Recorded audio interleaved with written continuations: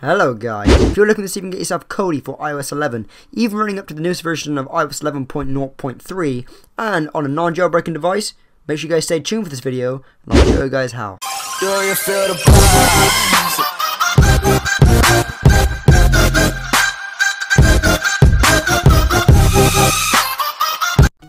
Hello guys, Celest here, welcome back to the channel. If you guys new here, make sure you guys do me a big favor, smash the like button down below, hit that subscribe button too. Today I'm showing you guys how you can get out of Kodi on iOS 11, even working up to the newest version of, of iOS 11 uh, 0.3. Uh, guys, this is for a non-jailbroken device and it's really really easy, so fast and easy. So guys, without further ado then, let's jump straight into it.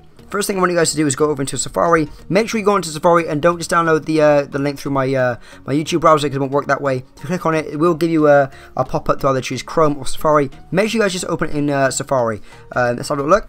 Going down to Safari, open this one up. Now this is the website you guys are going to want want to go to. Bear in mind again, the link will be in the description. So now I want you guys to press Install App Valley. Hit the top one.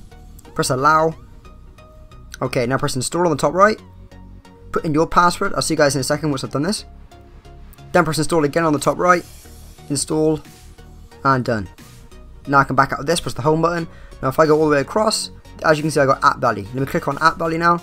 Now in the middle section at the bottom, uh, you can see Library. Click on Library, click on Apps on the Browse tab.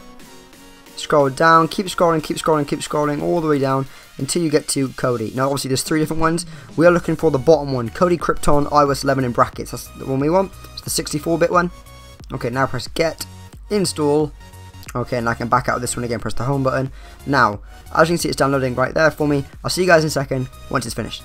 Okay guys, perfect, we're back. As you can see now, Kodi just finished downloading. If I go to open it though, uh, it gets declined. I can't actually do it. So I'm going to press cancel and show you how I get out of it. So go back into your settings. Then you're just going to have to verify it. So you have to go to profiles and device management. If you don't know how to get there, let me show you. Press back.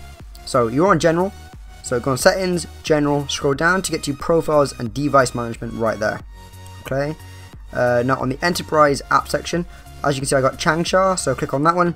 And then trust, trust again, and we're done. So I press the home button, go all the way across again to Kodi, open it up. Okay, now guys, as you can see, I got a bit of a pop-up, so I'm gonna press the X at the top right. Okay, now here we go. So here we go, I'm just press OK.